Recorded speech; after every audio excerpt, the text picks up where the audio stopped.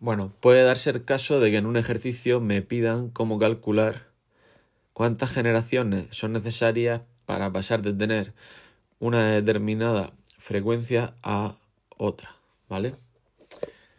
Entonces, para ello pues tengo que usar logaritmos, logaritmos neperianos, ¿vale? Entonces aplico logaritmos neperianos a ambos lados de mi ecuación.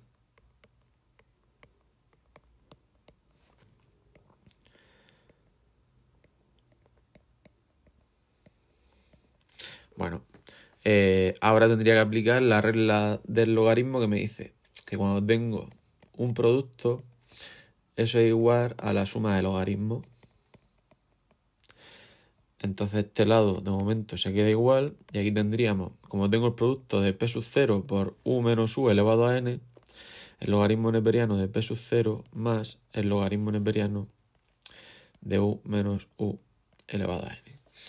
Y ahora tendría que aplicar la regla que me dice que el logaritmo neperiano de algo elevado a un exponente, pues igual a ese exponente por el logaritmo. Bueno, pues lo aplicaría aquí y pasaríamos a tener esto. Más n por logaritmo neperiano de u menos u.